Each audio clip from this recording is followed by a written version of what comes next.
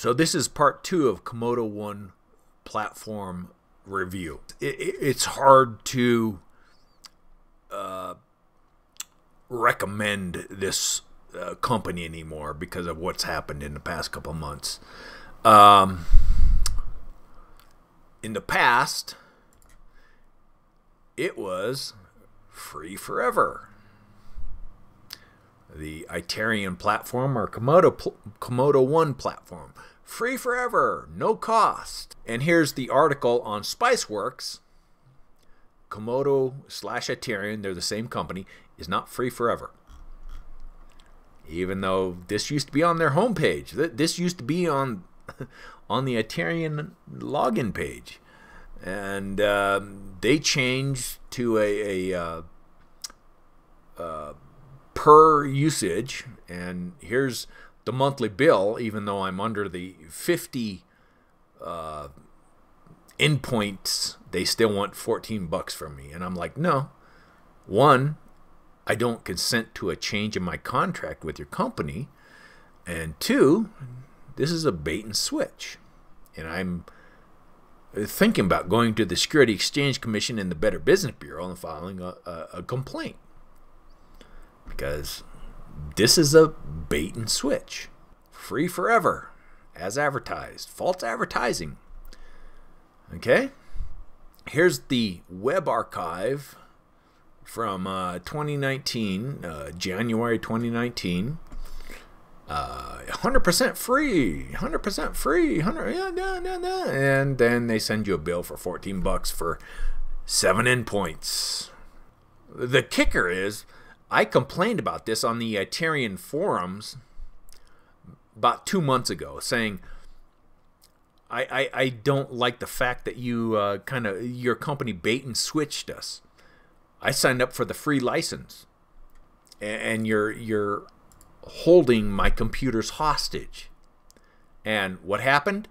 You are permanently banned by Mel He. Mel Melahi. Okay? He he's the CEO of this company. Real professional Melahi. Mel Melhi. Real professional way to censor your users. Little background about me I have 30 years in IT, I have 20 years in endpoint protection, in Symantec and McAfee. I've used Comodo internet security for over, way over 15 years, 10 years, something like that, back in version 2. And he bans me because I voice my dislike of the bait and switch that they did bans me from the Itarian forums. So I cannot consciously give this company a thumbs up anymore. In 2019, the Itarian forums were hacked. So if you if, if you have a an account on Itarian or Comodo 1 forums, you need to check your password and change it. But my problem is not not only did this person ban me for voicing my dislike of the bait and switch, they're now holding my computers hostage. because here's here's this this computer is named 3D CAD because I do a lot of Fusion 360 on this. Okay, it's been updated. It's fully patched, even though it says you're missing one patch. I'm not. Um, if I go into the configuration profiles and I try to like say disable hips because it's blocking everything, I can't because you require a license. I can't disable this. And this has happened. This is why I complained on the Itarian forums, you're holding my computer hostage because I had a legitimate executable that wasn't digitally signed uh, called uh, uh, the the Snappy driver install or driver updater, and this this was blocking it because it was not digitally signed. And they say, well, you get the basic Well, isn't the antivirus basic? And I can't change the options on on antivirus. What is the point of having this software or having this system if I can't manage anything? Look at licensing management. Buy a new license. Okay. Okay. Well, let's oh, seven layer active, meaning if you don't buy something, their software is useless. After your 30 day trial is up, you get this nice little uh, red banner saying, buy a new license. You can't do crap with this.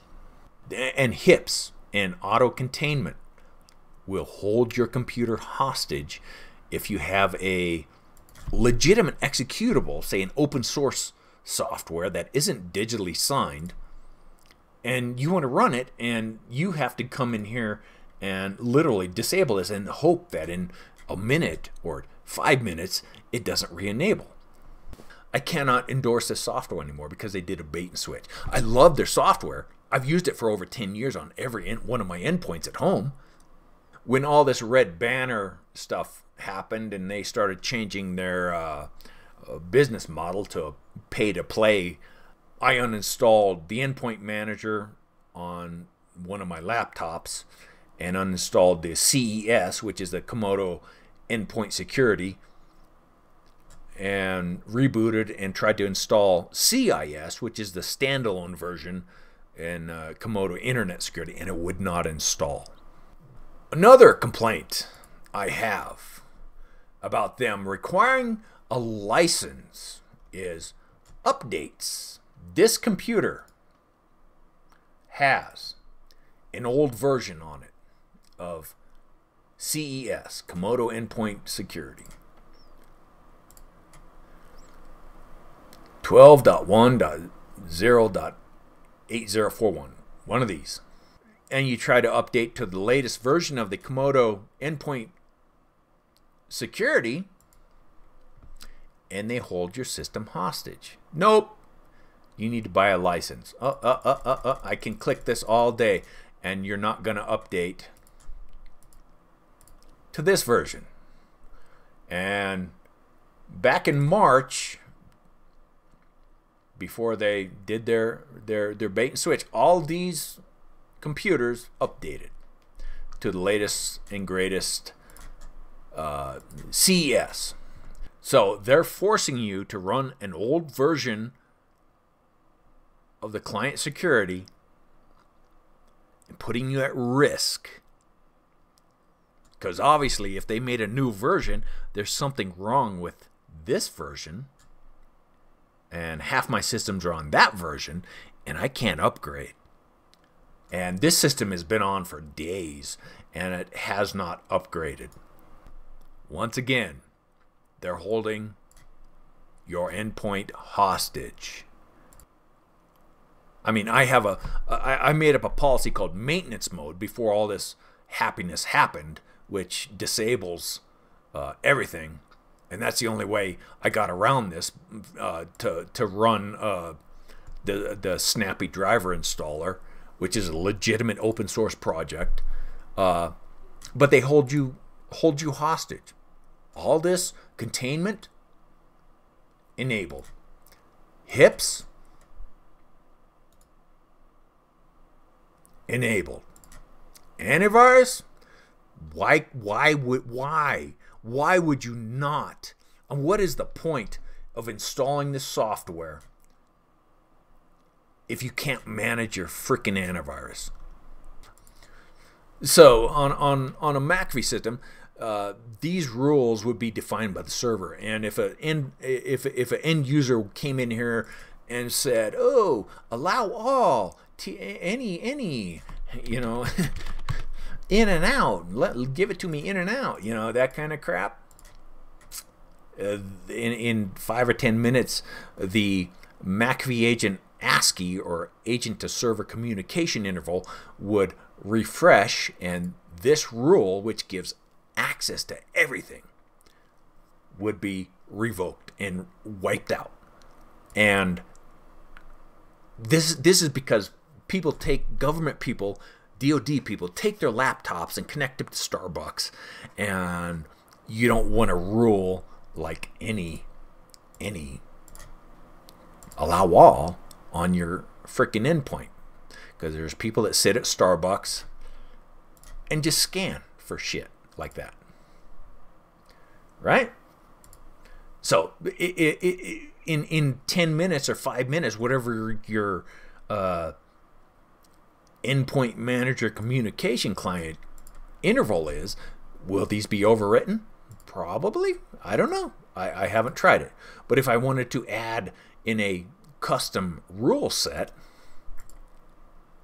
and say, I want to allow Snappy Driver Installer to run and access memory and access the, the, the DNS uh, uh, RPC service and all that happiness, is it going to get overwritten or, or, or 10 minutes down the road, I'm just screwed again?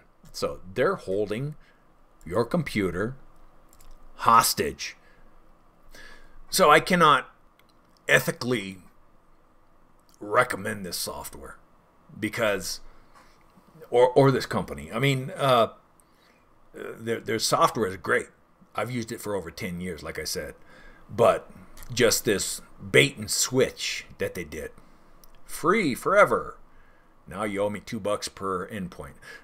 Understand you need to make money, but this bait and switch, and then you voice your dislike of it, and you get banned by the CEO of the company for voicing your dislike after your password and shit was hacked because a security company can't keep their public facing servers updated. I do this professionally for the Department of Defense, but I'm not going to pay money, two bucks a, per endpoint, for something that when I signed up was free. I signed the agreement that said it was free. And then you do this bait and switch. That's that is the problem. And then I voice my dislike and they ban me. And then they disclose my personal information to hackers. So, if any of you have a suggestion for an open source or a free management console like uh, the the Bitdefender. Uh, what is that? The Bit Bitdefender Galaxy or whatever the hell it was. I don't know if that's paid or not, but uh, you know, if you if you have something you want me to review, let me know and I'll try to do it. Comodo should make a Linux-based antivirus management server that you can deploy in a virtual environment like uh, like VirtualBox or QEMU or uh, uh, uh, you know Hyper-V or anything like that, that, where you can create your own endpoint manager, just like just like the McAfee EPO. You can you make your own executable with all your IPs and your settings, and then you set it up. Uh, make a Linux, which which allows you to manage your endpoints from your home network. You turn it on once a week and and it gets a policy whatever you know? Uh, and with with the McAfee e-policy if your e-policy goes down your your clients still have the same policy because it hasn't refreshed it. Every every you know 10 minutes it does an ASCI but then every whatever it sends you know every 8 hours or so it sends all the log files to the EPO utilizing a simple uh, Linux based server with using Nginx, screw Apache. Nginx is a way to go because it can it uses minimal minimal hardware, minimal memory, and not not a lot of exploits on Nginx. N G I N X. Nginx web server. Just a suggestion.